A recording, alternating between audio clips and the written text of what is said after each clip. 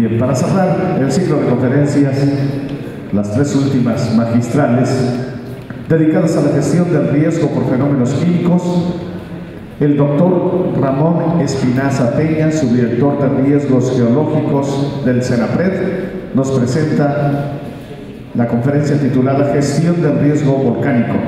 A continuación presento un resumen del extenso currículum del doctor Espinaza. El doctor Espinaza, ingeniero geólogo con maestría en Ciencias en Geología por la UNAM, cuenta con un postdoctorado en el Instituto de Geofísica de la UNAM. En 2010, con el proyecto Uso de las emisiones de dióxido de carbono en suelos para reconocer las zonas más activas en el campo volcánico de Jalapa. Doctorado en Ciencias de la Tierra, Vulcanología, en 2007 con el estudio Evolución morfoestratigráfica del volcán Popocatépetl. Como actividad docente inició actividades en 1989 como profesor de asignatura asociado A en la carrera de Ingeniería Civil de la ENEP Acatlán, UNAM, impartiendo la materia de Geología durante 12 semestres misma materia que impartió en la Universidad Anáhuac en nivel medio superior. De 1992 a 1997 impartió clases de cálculo diferencial e integral y de álgebra a nivel bachillerato en el Colegio Ciudad de México. En nivel medio, en 1998 imparte Geografía General y Geografía de México para bachillerato en el Colegio Ciudad de México, plantel Polanco, y de 2006 a 2010 como producción científica cuenta con ocho artículos científicos en revistas indexadas que han sido citados 38 veces, cuatro artículos científicos en preparación, tres mapas en el Atlas Nacional de México, un mapa en el nuevo Atlas Nacional de México, tres capítulos en libros, dos guías de campo internacionales, diez artículos en memorias en extenso, 12 artículos de divulgación en revistas no indexadas, 17 artículos en revistas de circulación restringida, 27 congresos con 45 ponencias, 24 conferencias en distintas instituciones educativas. Cuenta con las siguientes líneas de investigación, geomorfología volcánica, geomorfología kárstica, estratigrafía volcánica, estructuras primarias volcánicas, geología del cuaternario, peligros y riesgos volcánicos y cársticos. Actualmente se desempeña en el Centro Nacional de Prevención de Desastres, Dirección de Investigación, con el nombramiento subdirector de riesgos geológicos. Por favor, un aplauso fuerte para nuestro ponente.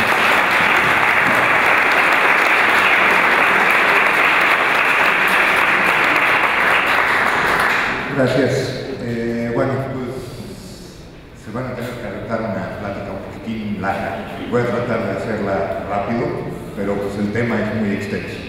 Eh, vamos a hablar de gestión del riesgo volcánico, la que sigue. Este, bueno, esto ya todos lo sabemos, pero no está de más darle un repaso. La gestión del riesgo, que es la traducción de del inglés Risk Management, es esencialmente un enfoque estructurado para que podamos manejar toda la, toda la incertidumbre que rodea a alguna amenaza, a algún peligro, en este caso los peligros volcánicos. ¿Cómo vamos a, manejar esta incertidumbre? Con una secuencia de actividades que vamos a realizar nosotros, por ejemplo, evaluación del riesgo, estrategias para manejar ese riesgo y cómo podemos mitigarlo. Hay que tomar en cuenta que entre estas estrategias para manejar el riesgo, pues está transferir el riesgo a otra parte, cosa que no podemos hacer con los volcanes. No podemos agarrar el volcán y llevarnos a otro sitio. Eh, pero sí podemos nosotros evadir ese riesgo yéndonos a vivir a otro lado, por ejemplo.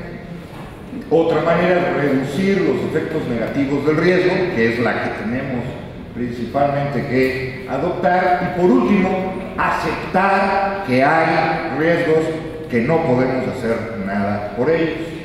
¿La que sigue?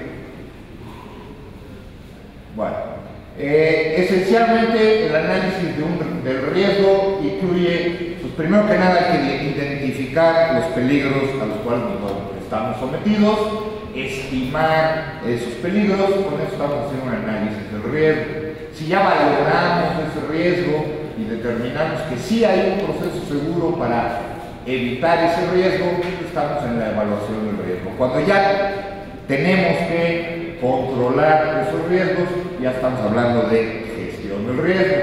Esto es bastante este, cíclico, analizamos y primero que nada tenemos que identificar el riesgo, analizarlo y evaluarlo, gestionarlo para poderlo controlar y seguir identificando ese, otros aspectos de ese riesgo. ¿La que sigue? Es la parte medio teórica, ya luego vienen las fotos bonitas. Este, en México eh, tenemos alrededor de 2.000 edificios volcánicos. Lo que vamos a hacer es identificar el riesgo volcánico en México. Tenemos alrededor de 2.000 edificios volcánicos que incluyen 68 volcanes y campos monogenéticos que se, se pueden considerar activos. Esos campos monogenéticos, esos volcanes activos, se encuentran en Baja California, en el Océano Pacífico, en el arco chiapaneco, en el sector noreste del, arco volcánico centroamericano y sobre todo en el cinturón volcánico transmexicano que está en esta zona. ¿La que? Bueno, en México ocurren bastantes más erupciones de las que la mayoría de nosotros pensamos. En los últimos 500 años hemos tenido alrededor de 15 erupciones de distintos tamaños cada siglo. Aquí están algunas de las más importantes de, tiempos históricos. El volcán Colima ha tenido erupciones muy importantes en 1576 y 1818. El volcán San Martín Tuxtla en Veracruz en 1664 y 1793. El Seboruco en estos años. El pico de Orizaba 1837 y 1846. Estas son importantes erupciones que han ocurrido en tiempos históricos. Ya para el siglo XX, estas son las erupciones más importantes que hemos tenido. Podemos darnos cuenta, nada más por el tamaño del cuadrito, que el volcán Colima es el volcán más en país. Eh, pero ahí están también el Paributín, el Bárcena, el Chichón en Chiapas, el Tacaná, el Everman y el Popocatépetl, que a todos nos llama la atención. ¿La que sigue? Bueno, muchas ciudades están localizadas cerca de volcanes o de zonas volcánicas.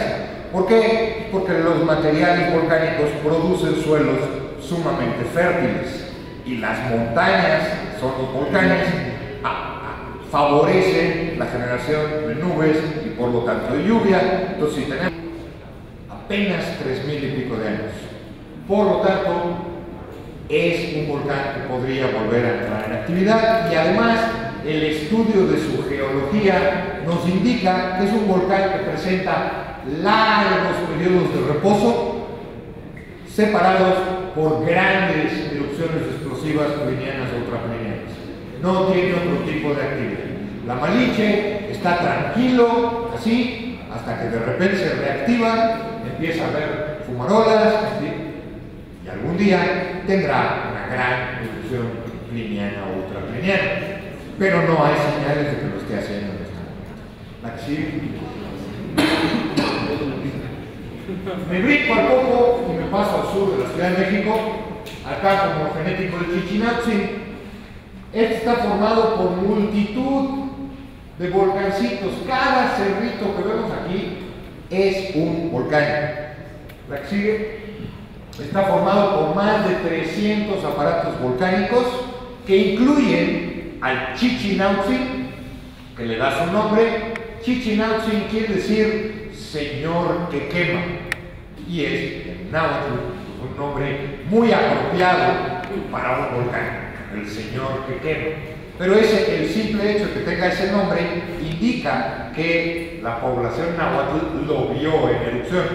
Porque otro volcán muy reciente ahí, el Chitle, que emitió todo el pedregal de San Ángel, Su nombre quiere decir ombligo.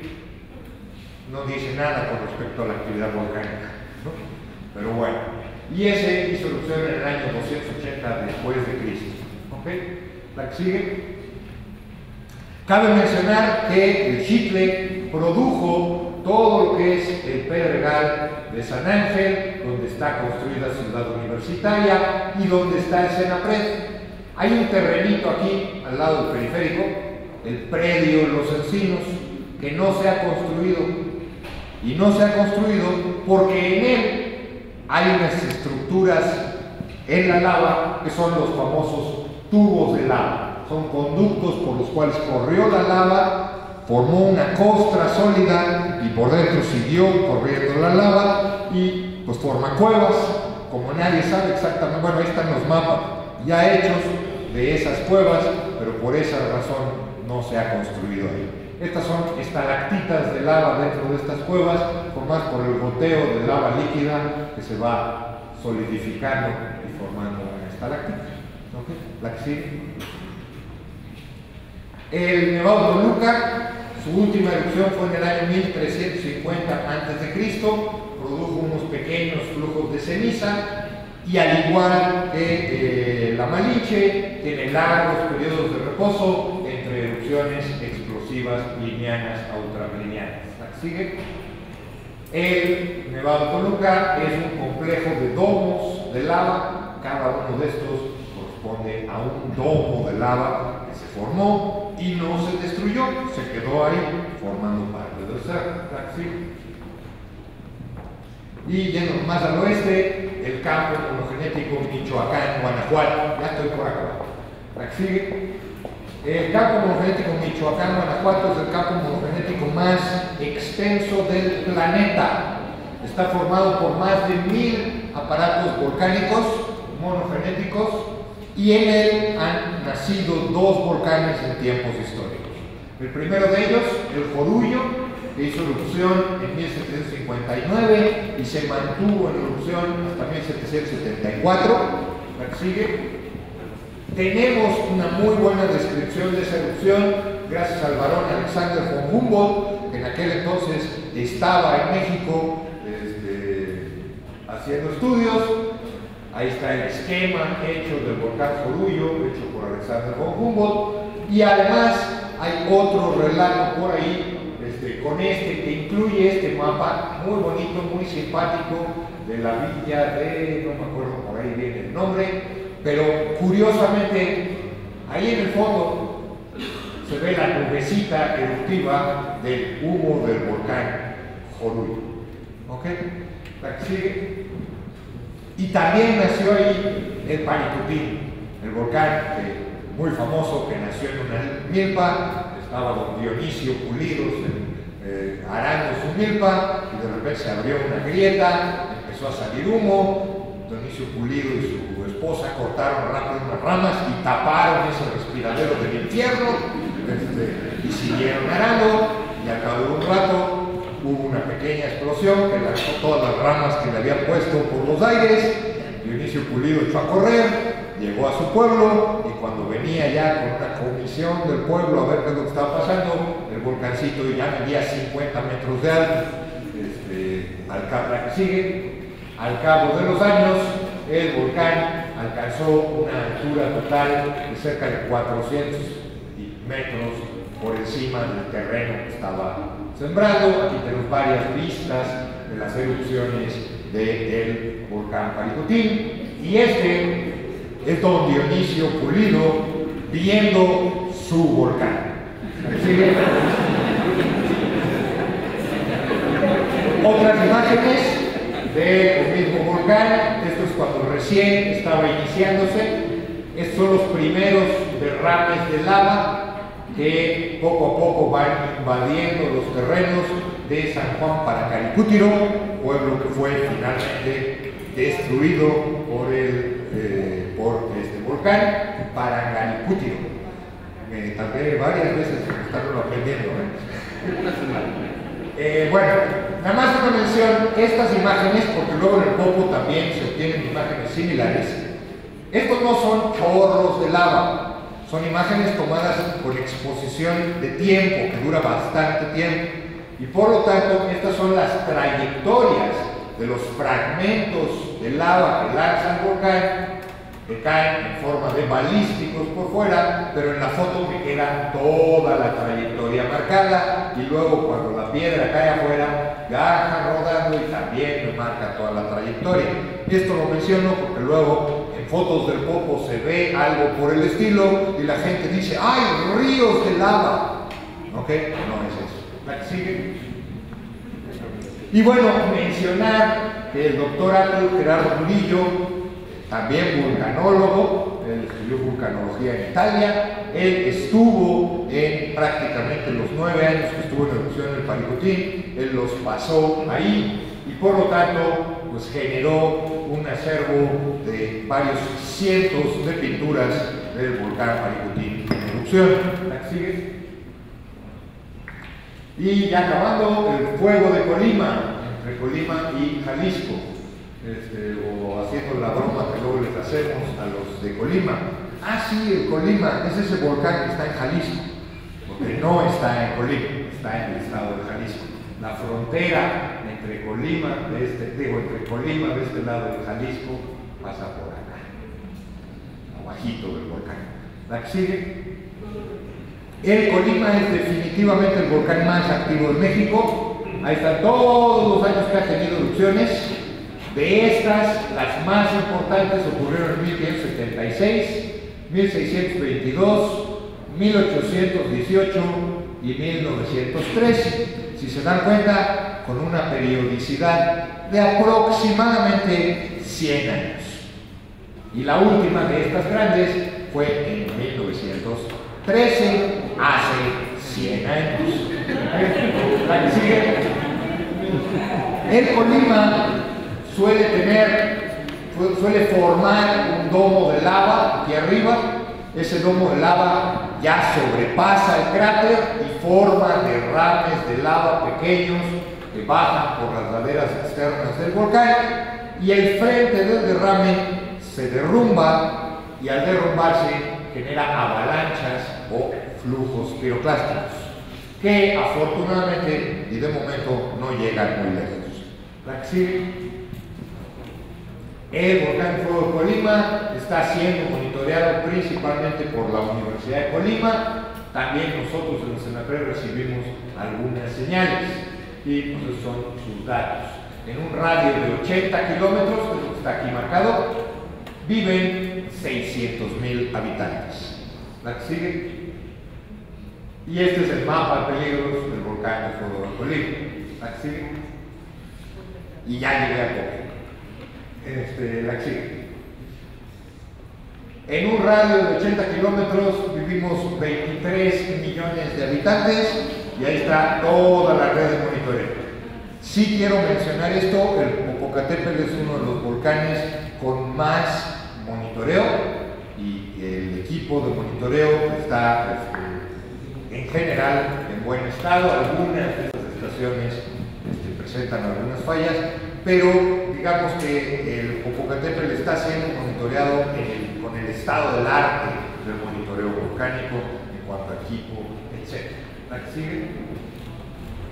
Un poquito de la historia del volcán, les había mencionado que el Popocatépetl son varios edificios volcánicos, en realidad es el volcán Espayantla, que fue destruido hace alrededor de 600.000 años. Encima creció el Ventorrillo, que fue destruido en un colapso hacia el sur enorme, cuyos depósitos llegan hasta la ciudad de Cuautla hace 23.000 años.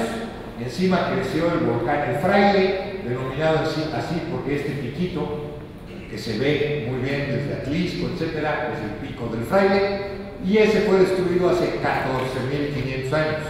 De tal manera que lo que es el Popo moderno es un bebito de apenas 14.500 años de edad.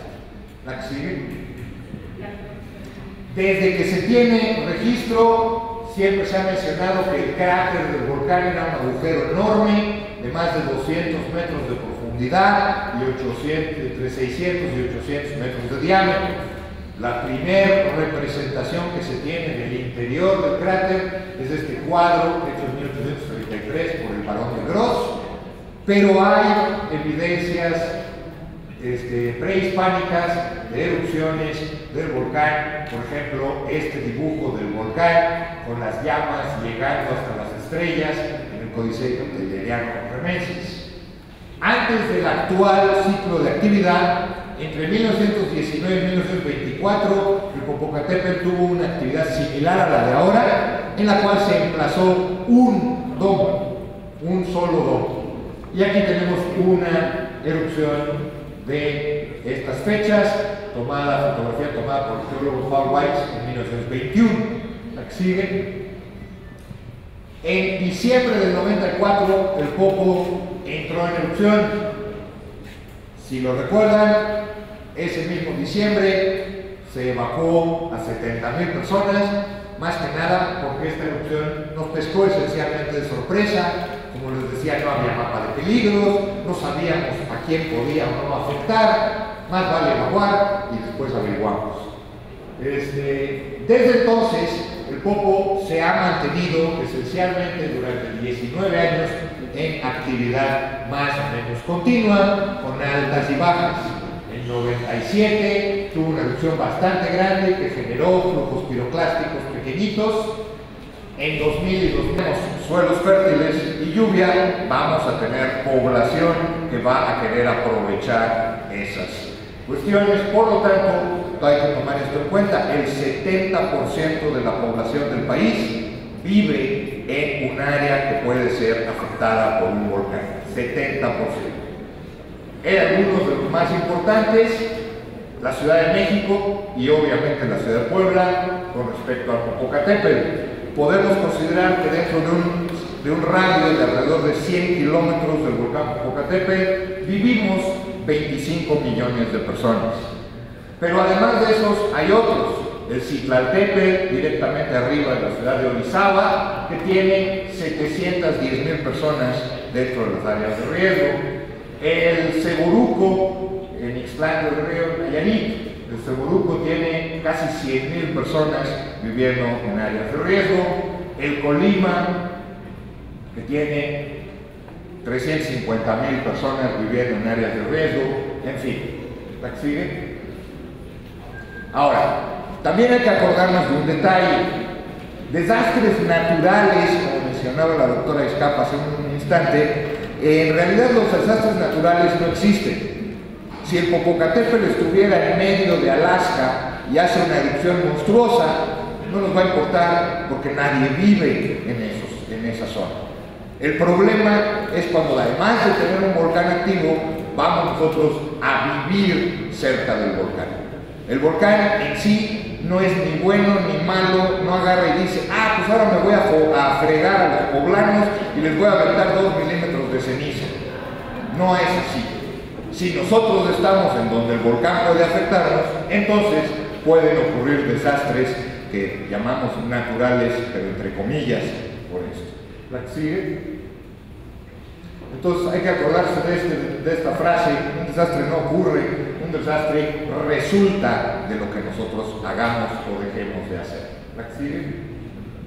Bueno, para evaluar el riesgo volcánico, nosotros tenemos que tomar en cuenta el peligro en sí. El peligro ahí está, es el volcán. El volcán puede tener erupciones que producen toda una serie de fenómenos que pueden ser peligrosos si nosotros nos colocamos en el camino de esos productos. Eh, es decir, si nosotros estamos expuestos, tenemos bienes expuestos a la actividad del volcán, pues estos bienes van a ser vulnerables. El riesgo volcánico pues, va a ser el producto de este peligro esta vulnerabilidad y qué tan expuestos estén estos bienes. ¿La sigue? Bueno, además hay un factor que es muy importante tomar en cuenta, que es lo que llamamos la ventana de decisión. Cuando un volcán empieza a tener actividad, ahorita vamos a ver el tipo de actividad que puede tener un volcán y cómo se monitorea, etc. Pero si yo en los sistemas de monitoreo volcánico empiezo a notar un incremento en todos los monitoreos produce más sismos, tiene más exhalaciones, eh, hay tremor, etcétera, etcétera. Entonces, hay un momento en que nosotros tenemos que tomar esa decisión. La que sigue.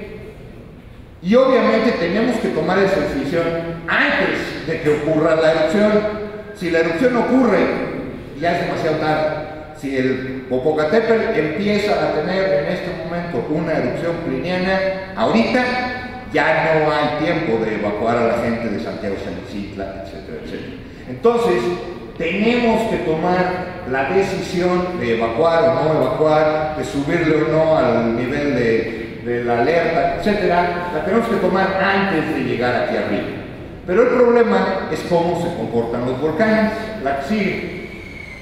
Cuando nosotros estamos llegando aquí, podemos llegar a una erupción, como por ejemplo ocurrió en diciembre de 2000 y enero de 2001.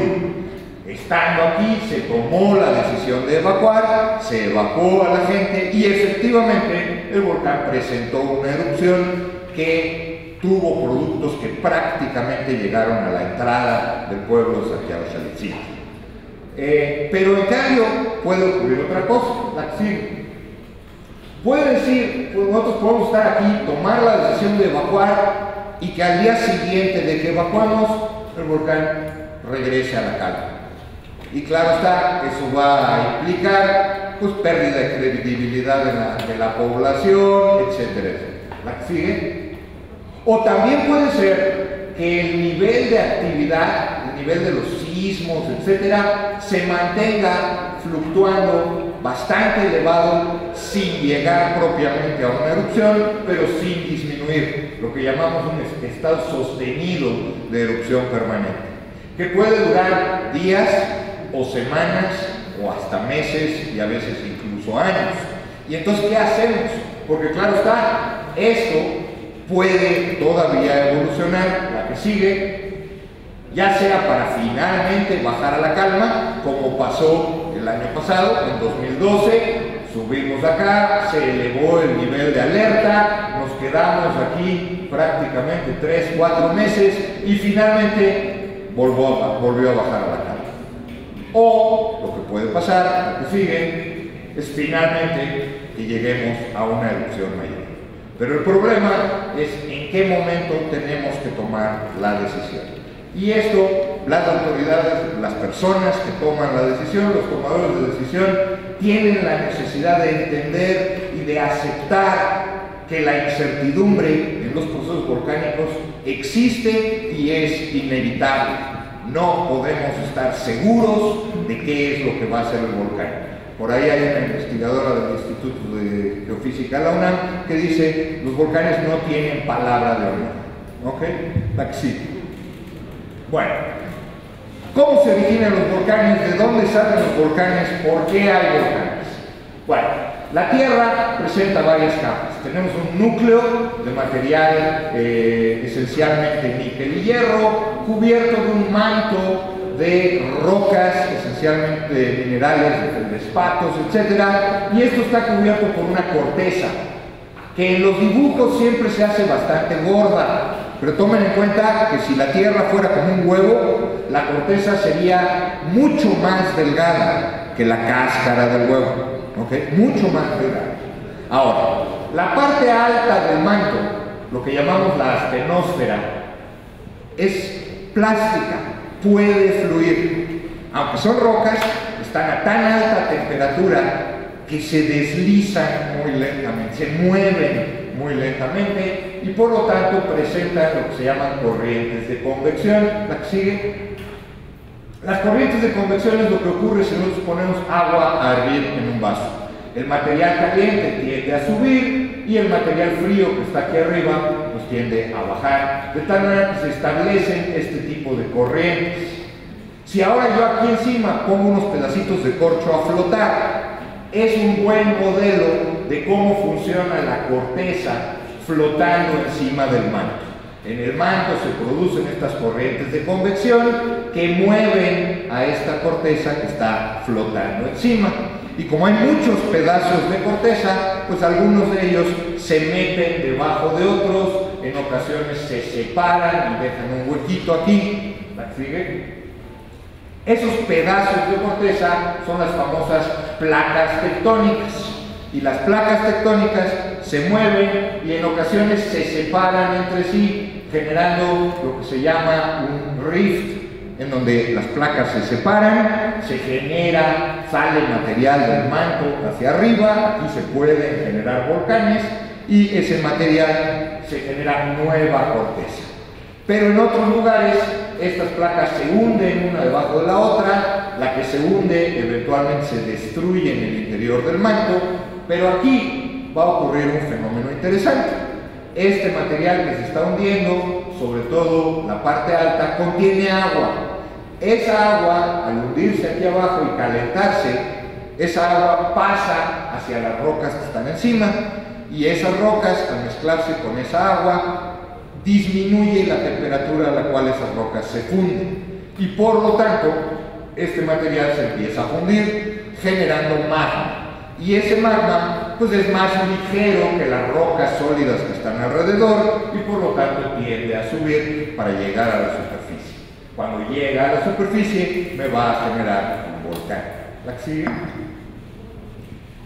entonces aquí tenemos un mapita en el cual vienen todas las placas tectónicas. La Tierra es como una especie de rompecabezas esférico, formado por un chorro de placas. Alguna, una de ellas, la placa del Pacífico, es la más grande de todas, es una placa esencialmente de corteza oceánica, que, se, que en todos sus bordes, o casi todos sus bordes, se está hundiendo por debajo de otra placa. Y por lo tanto va a estar rodeada de volcanes. Todos los puntitos rojos que vemos aquí son volcanes. Además, en donde las placas se hunden también se generan sismos y por lo tanto esta región es una región particularmente rica en sismos. Eh, a esto es a lo que se le llama el anillo de fuego del Pacífico, porque a lo largo de todas las costas del Pacífico tenemos numerosos volcanes. Ahora, veamos México. México está en la unión de varias placas tectónicas la placa de Norteamérica, que incluye la mayor parte del territorio nacional, la placa del Pacífico, que incluye Baja California, la placa de Cocos y otra placa chiquitita que está aquí, que se llama placa de Rivera, que son dos plaquitas que están hundiendo debajo de de Norteamérica y que son, por lo tanto, las responsables de la formación de todos estos volcanes. México además también tiene un pedacito de Chiapas que forma parte de otra placa pequeña que es la placa del Caribe. La Bueno, ¿y qué es una erupción? Cuando el magma llega a la superficie, libera gases y una erupción volcánica va a ser la salida de esos materiales magmáticos, los gases, la lava, que es el magma cuando llega a la superficie y pierde los gases, se transforma en lava y cuando esta lava se solidifica, pues me va a formar una roca. Cuando todas estas cosas llegan a la superficie de la Tierra a través de una fisura, como es este caso, o de una abertura específica de una boca eruptiva, a eso es lo que llamamos una erupción volcánica. Todos estos materiales se acumulan alrededor del lugar donde están saliendo y al acumularse ahí van poco a poco formando el volcán, el edificio volcánico. Vamos a tener esencialmente dos tipos de erupciones. Las erupciones efusivas son las que emiten derrames de lava. Debido a las películas, como que todo el mundo le tiene miedo a los derrames de lava uy, va a llegar la lava hasta Puebla, este, híjole, ¿te imaginas que nos inundara de repente la lava aquí? Bueno, la lava se mueve muy lentamente, se mueve algunos metros por día. Por lo tanto, no es verdaderamente peligroso. Una erupción de lava, una erupción efusiva, es una erupción que podemos ir, tomarle fotos, llegar con el martillo y sacar una muestra de la lava, etc. Ojalá y el poco haga erupciones efusivas. Claro está, en las películas nos pasan la parte cerquita del volcán donde la lava sale a mucha velocidad y sale corriendo y se ve así muy espantoso. Pero en realidad, insisto, la lava en realidad se mueve muy lentamente se mueve algunos metros por día y no es peligroso. La. Pero hay otro tipo de erupciones, las erupciones explosivas. Las erupciones explosivas se miden de acuerdo a su intensidad y a su nivel de fragmentación. El nivel de fragmentación se refiere al tamaño de las partículas. Entre más finas sean las partículas, más fuerte fue la explosión. Y entre más lejos lleguen esas partículas, pues más fuerte fue la explosión.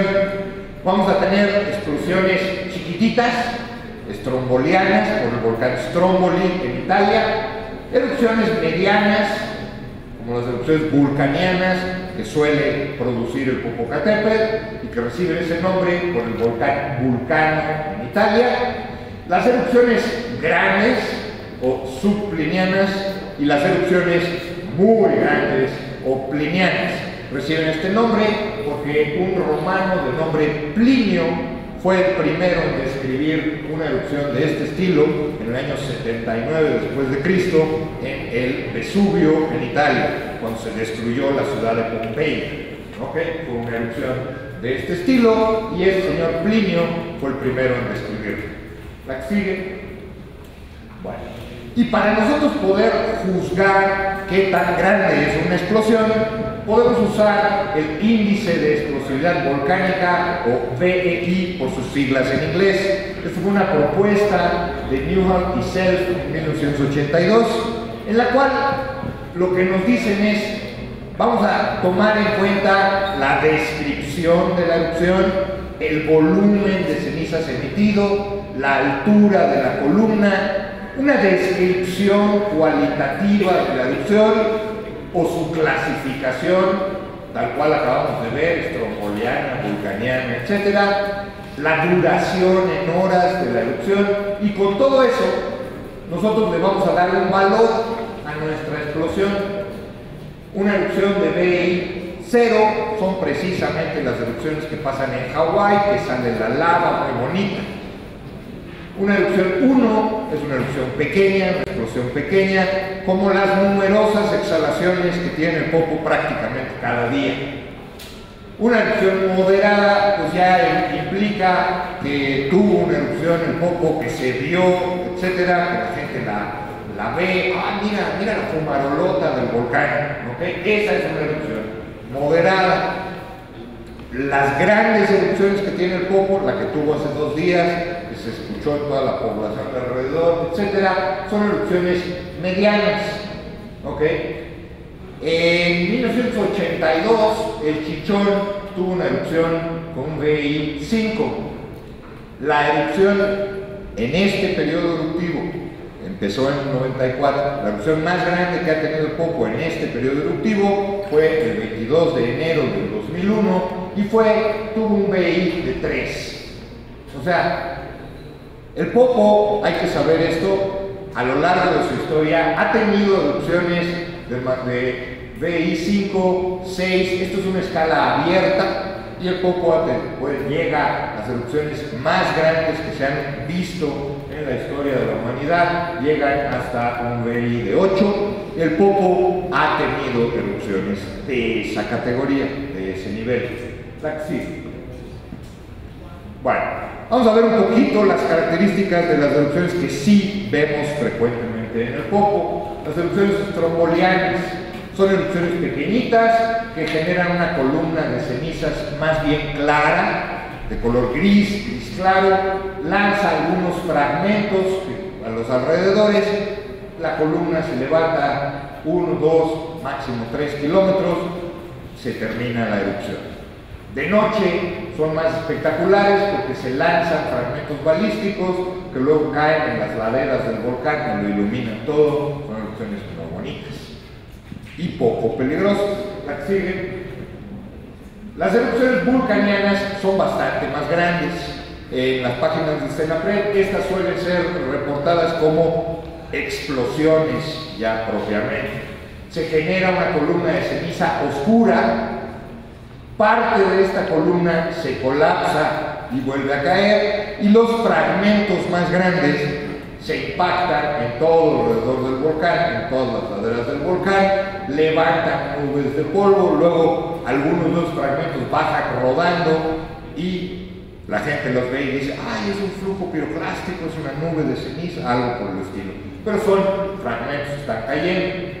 Nuevamente de noche podemos ver la columna de ceniza oscura, la caída de cenizas y los impactos de estos fragmentos balísticos. Las erupciones subplinianas y plinianas son las grandes explosiones. La mayoría de la gente considera, piensa, ah, el popo está activo, pero todavía no ha hecho erupción, o llegan y me preguntan, ¿y algún día hará erupción el Popo? Bueno, hay que tomar en cuenta que el Popo lleva 19 años en erupción.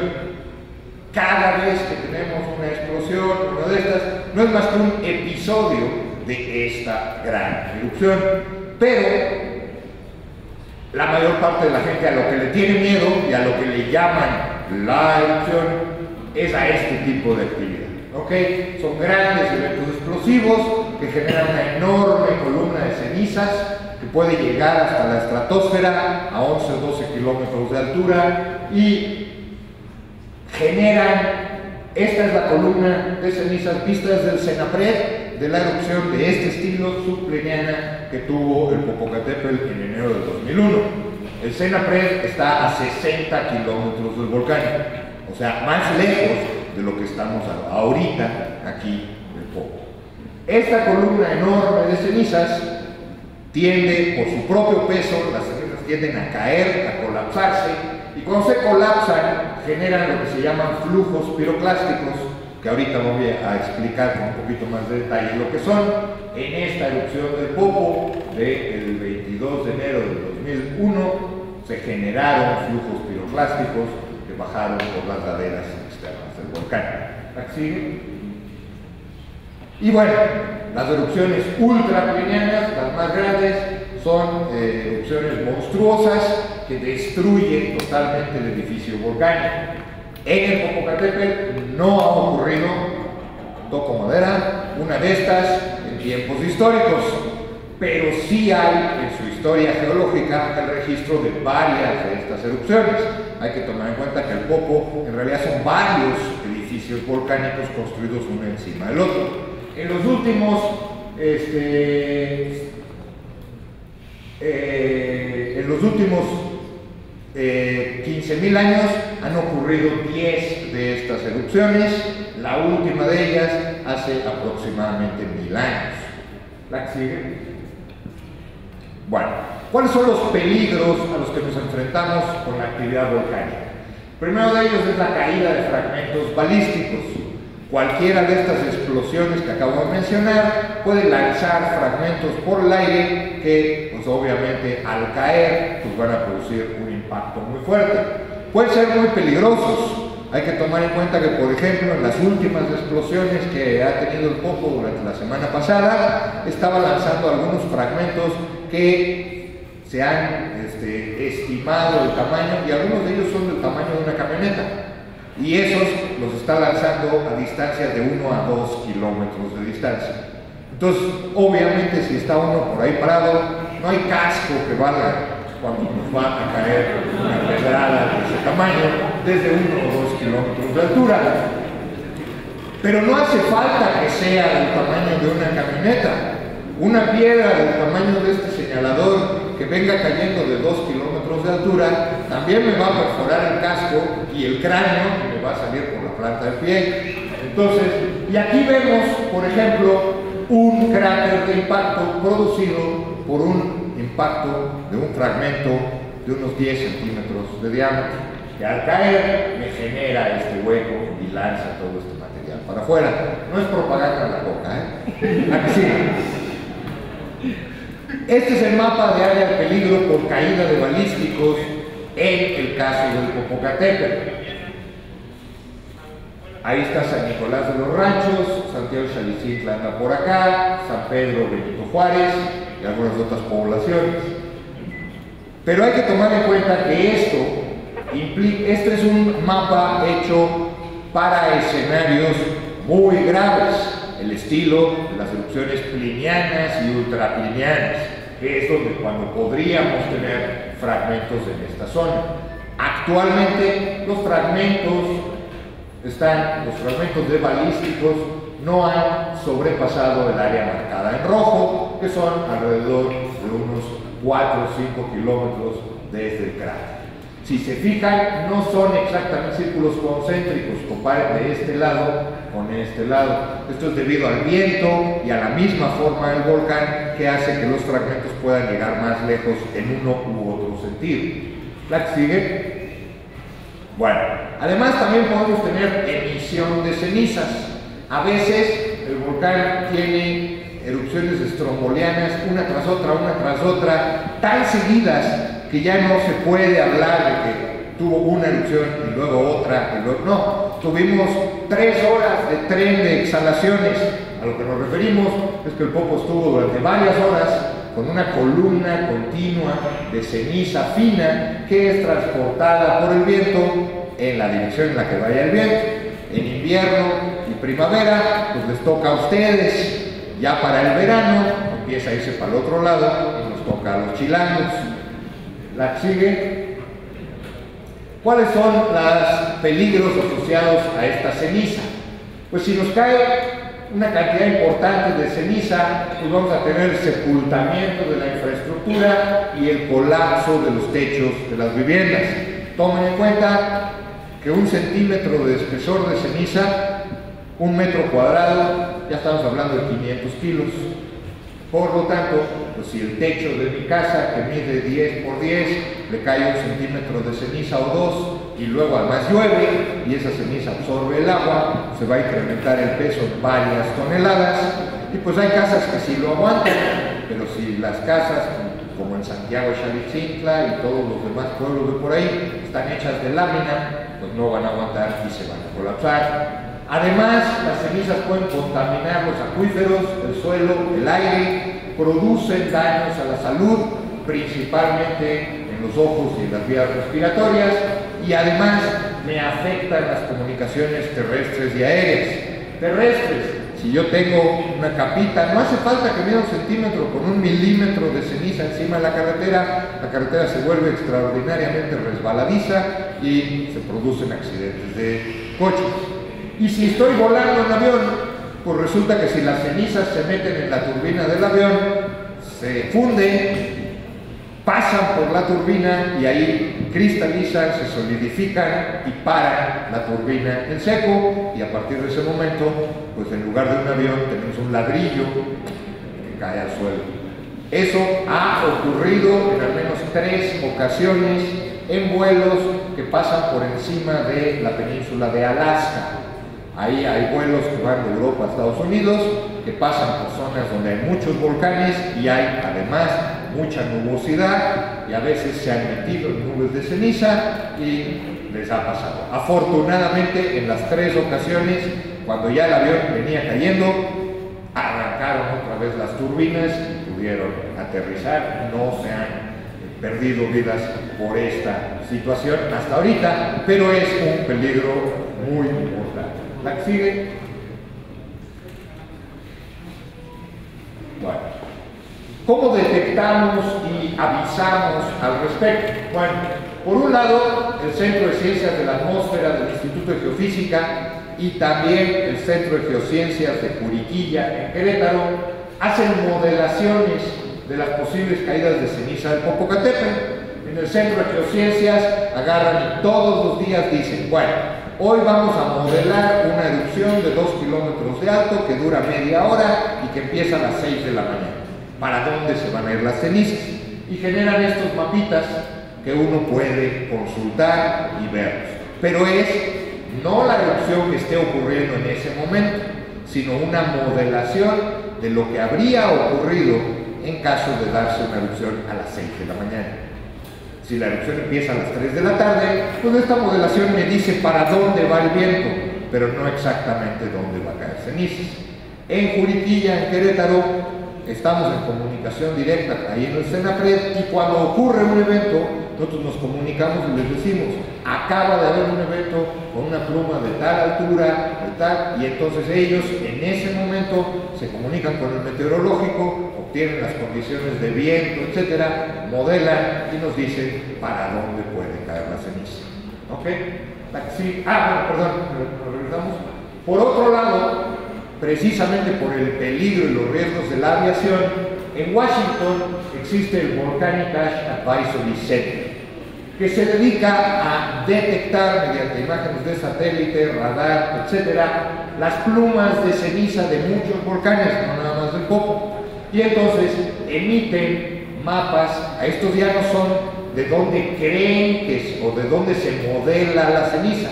Esto es donde han visto ceniza con estas imágenes de satélite y se les informa a las, aeropuertos, etcétera, pues para que los aviones que iban a pasar por aquí pues se desvíen y no pasen por allá.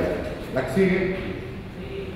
Y además, mediante medición de cuánta ceniza cayó en cada punto, nosotros en nuestra red elaboramos estimación de áreas de caída de ceniza. ¿La que sigue? Bueno, también se pueden generar corrientes piroclásticas de densidad o flujos piroclásticos. Ojo con esta C, porque luego los medios de comunicación le ponen P y suena a piroclásticos. Y entonces todos los nos morimos de la risa. Este, los flujos piroclásticos, piros quiere decir fuego y clasto quiere decir fragmento. Entonces son flujos de fragmentos de fuego, por así llamarlo.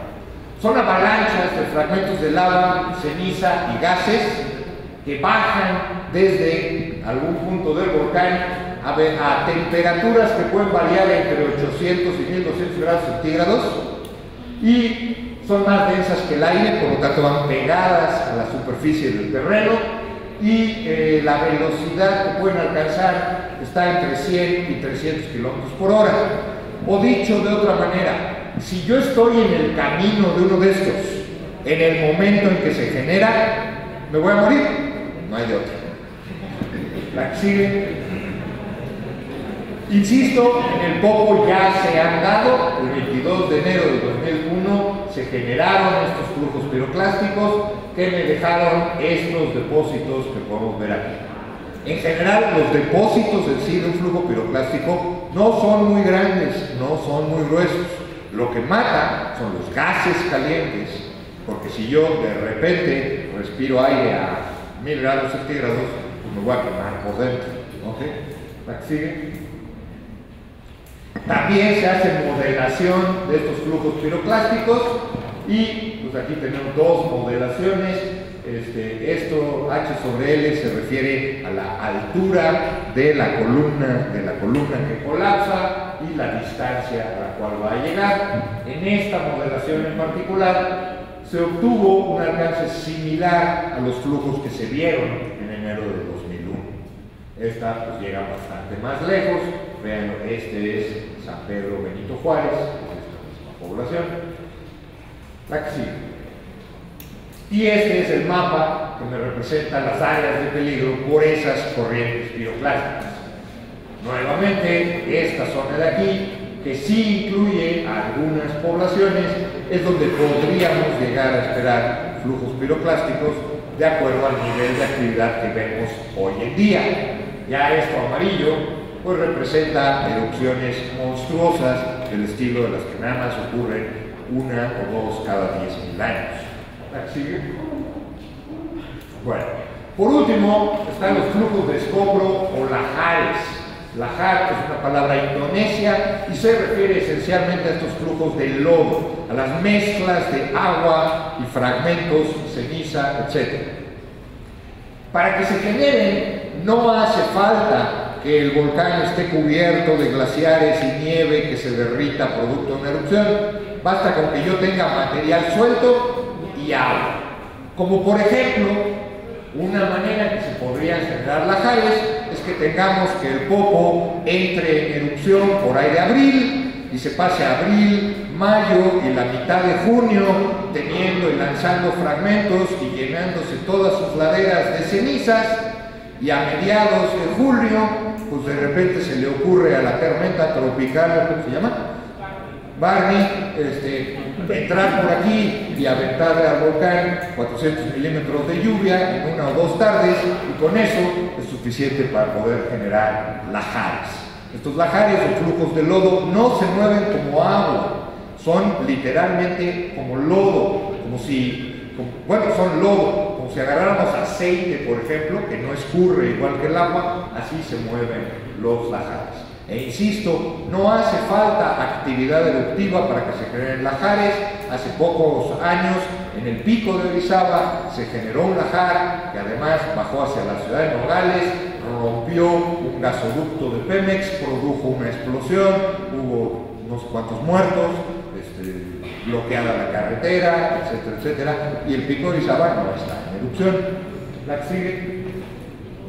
En el Poco se han presentado lajares, nuevamente en 2001, presidente por removilización de los depósitos del flujo piroclástico que ocurrió el 22, el 23 bajó un lajar hacia Xalitzitla, aquí tenemos una persona y este material llegó hasta acá arriba y nos transportó bloquecitos, aquí hay una persona para darnos una idea del tamaño de lo que pueden transportar estos lajares. Este lajar se detuvo aproximadamente unos 600 metros antes de entrar a la población de Santiago Chalecita. ¿La que sigue? Bueno. Modelamos estos bajares. Aquí tenemos precisamente la, barria, la barraca de Huiloa que llega a Santiago Chalicintla. Se hacen simulaciones calculando un volumen de material que va a ser desplazado y cuatro posibles reologías. La reología se refiere a qué tan viscoso es el material. Entonces, más o menos viscoso, que contenga más o menos material, y con eso se hacen las modelaciones, y efectivamente la modelación que se hizo con este volumen, que es el volumen que se calculó para el Lajar del 2001, se modeló y cumplió exactamente con más o menos lo que hizo ese Lajar, la que sigue. Y ahí vemos esta modelación y cómo el Lajar efectivamente, prácticamente apenas y entra a Santiago Chalitzintla. Claro está, esto es con un volumen de 0.6 millones de metros cúbicos. Si lo modeláramos con un millón de metros cúbicos, pues estaría entrando a Santiago Chalitzintla. ¿Por qué se escoge 0.6 millones de metros cúbicos? Porque ese fue el volumen del lajar histórico que hemos visto que sí implicó en aquel entonces el Popocatépetl sí tenía un glaciar que se derritió en esa erupción y por eso se generó el lajar, pero ese glaciar no se ha reconstruido. Por lo tanto, es difícil que en el Popo se generen lajares más grandes que ese, pero todo insiste, insisto, todo depende de cuánto llueve. ¿okay? Si llueve más, pues se generan lajares más grandes. La que sigue. Y esta es una vista de Santiago Xalitzintla y precisamente la barranca de Huiloa que desemboca en este punto. De hecho, esta arena que se ve aquí es producto del depósito de esa erupción del 2001 que precisamente llegó hasta aquí. Ahora, Seguramente hay gente de Protección Civil de Puebla aquí en este momento. Voy a aprovechar para señalar una cosa que creo, estoy seguro que ya tienen vista, pero que no hay que dejar de mencionar. Aquí es donde desemboca la barranca. Y si alcanzan a ver, aquí está la iglesia. Y frente a la iglesia está la plaza de Santiago Chalecitla, que es el punto de reunión en caso de una evacuación. Justo ¿Ok? Es normal, en todos los pueblos el punto de reunión más lógico es la plaza central, pero al menos en esta población sería conveniente mover el punto de reunión a algún lado por este lado, porque además la carretera de evacuación viene por acá. Entonces, como una sugerencia, hay que cambiar el punto de reunión de Santiago. Sí, sigue. Y bueno, no es la única barranca, aquí estamos modelando Lajares por la barranca en Españanca, aquí está el pueblo de San Pedro Mejapa, y la modelación me indica que el pueblo de San Pedro Mejapa no está en muy grave peligro. Sin embargo, las casas que están más cerca de la barranca sí lo están. En 2010, debido a las intensas lluvias que hubo en 2010, se generó un lajar que bajó por la barranca en Espayatla. Aquí tenemos este, los depósitos dejados por ese lajar. Aquí hay dos personas para darse una idea del tamaño. Y ese lajar repitió lo que está marcado aquí en blanco. Exactamente. Entonces, eso valida las modelaciones. La que sigue.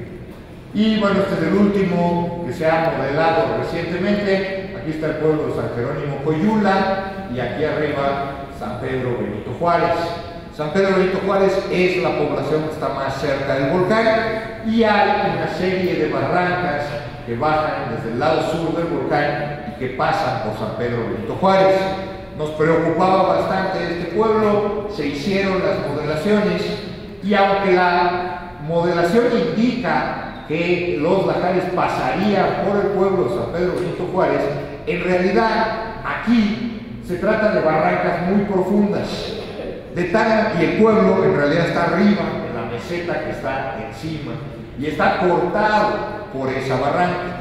De tal manera que en realidad el pueblo de San Pedro Benito Juárez no está en tanto peligro por lajares, porque los lajares se canalizarían por la barranca. Pero San Jerónimo Coyula está en la salida de esas barrancas, en donde ya se forma una extensa planicie y los lajares se expandirían por rellenando toda esa planicie y por lo tanto San Jerónimo Coyula sí está en riesgo por este tipo de lajares. La que sigue, se cabe mencionar que se están haciendo este tipo de modelaciones para todas las barrancas que se consideran importantes en el volcán y este, pues ya están bastante analizadas. Este es el mapa de peligros por flujo de lajares para caso del volcán Popocatépetl. La que sigue. Bueno, ya mencioné y ya mostré varios mapas de peligros volcánicos. En realidad, los mapas de peligros volcánicos lo que representan es el área que puede ser afectada por cada uno de los peligros, dependiendo de su intensidad. ¿Cómo sabemos esto? Pues a base de ver qué es lo que hizo antes el volcán. Una, regla de la geología es que el presente es la llave del pasado. Si nosotros estudiamos los procesos que ocurren hoy, podemos entender cómo se formaron antes las cosas. En el caso de Popocatépetl trabajamos al revés. Vemos qué es lo que ha hecho antes el volcán para a partir de ello tener una idea de qué es lo que puede hacer en el futuro. La que sigue. Ah, perdón, nos regresamos. Este, lo que sí es importante con estos mapas de peligros es resaltar esto. Son necesarios, yo diría que indispensables para la planeación del uso del suelo, para la elaboración de los planes de emergencia, etc. Actualmente en el SENAPRED se está promoviendo la elaboración de un mapa de peligros actualizado, porque hay que tomar en cuenta que este es el mapa de peligros oficial hecho por los investigadores del Instituto de Geofísica de la UNAM y tal, fue hecho en 1985, este, perdón, este, sí, 95, perdón, como respuesta a la entrada de actividad del Popo en diciembre del 94. En diciembre del 94 el Popo entró en actividad y nadie se lo esperaba. Por lo tanto, ¿dónde puede haber fuegos piroclásticos? Pues no sabemos. ¿Y dónde puede haber lajares? Pues no sabemos. Pues con la información que se tenía en ese momento, hasta 95, de dónde había depósitos, etcétera, se hizo este mapa. Del 95 a la fecha, van 20 años que el Popo ha estado de moda entre los vulcanólogos y por lo tanto todos los vulcanólogos de México y un chorro de vulcanólogos del extranjero han venido al Popo, han hecho estudios y han determinado el verdadero alcance de todos estos productos. Por lo tanto, hoy sabemos mucho más sobre lo que puede o no puede hacer el volcán. Y por lo tanto, es tiempo de que este mapa se actualice tomando en cuenta además que no hay ya un glaciar, cuando se hizo este mapa había un glaciar y otros cambios que ha habido.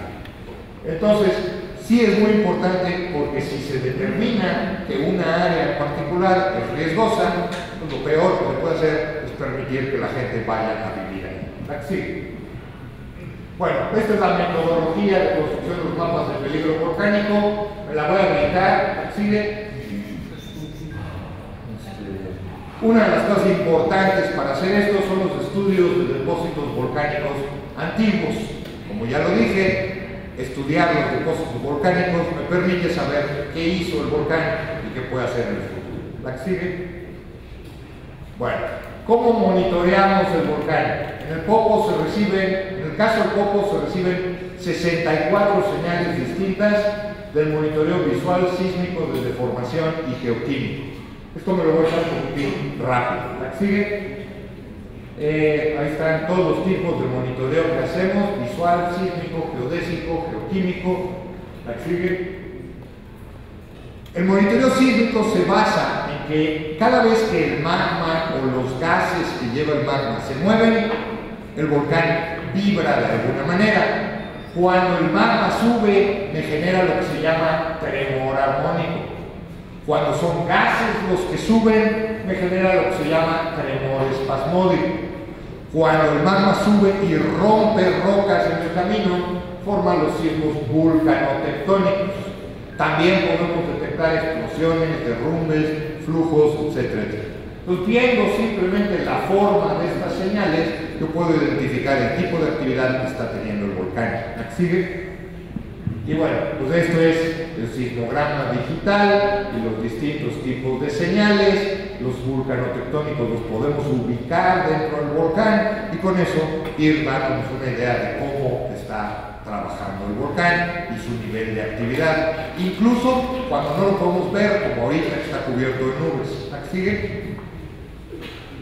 Bueno, estas son las estaciones sísmicas. ¿Sigue?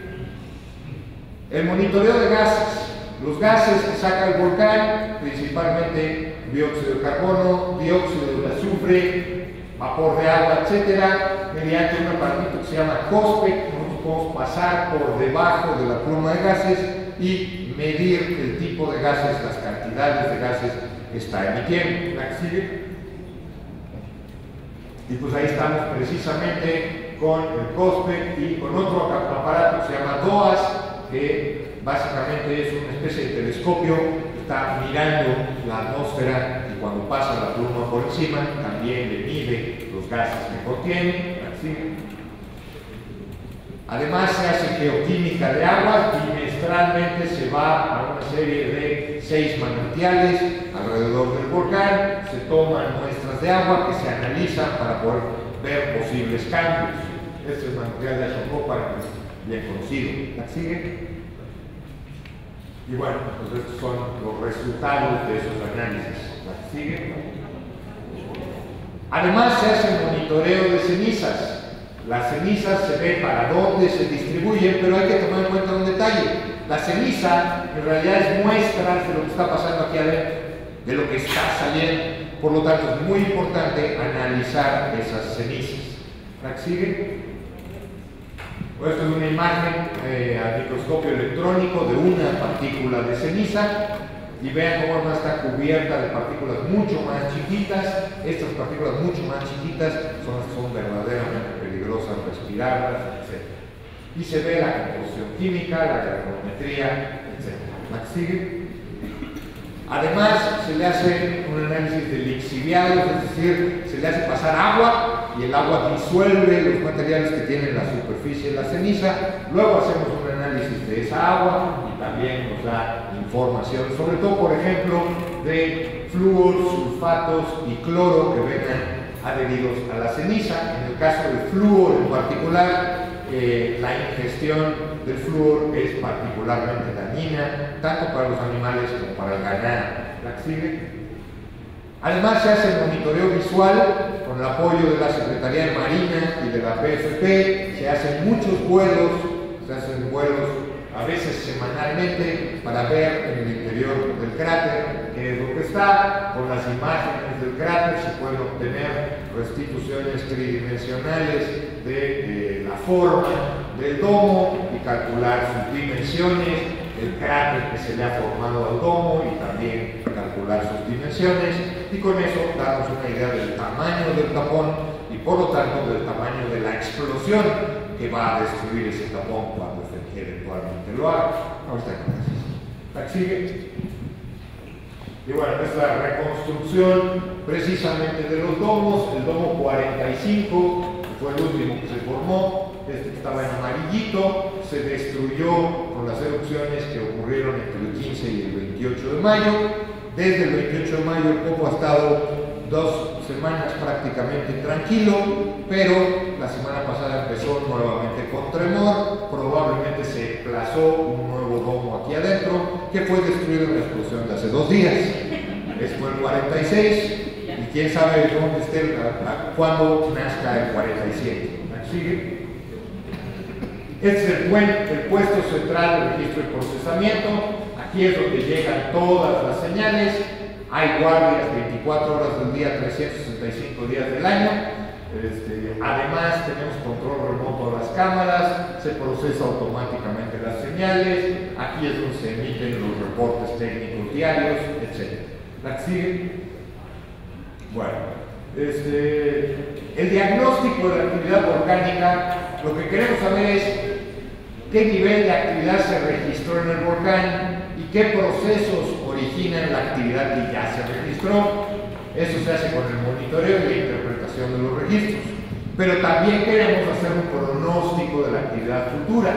Si el volcán entra en erupción, ¿cómo va a ser su actividad? Para ello se generan escenarios de peligro.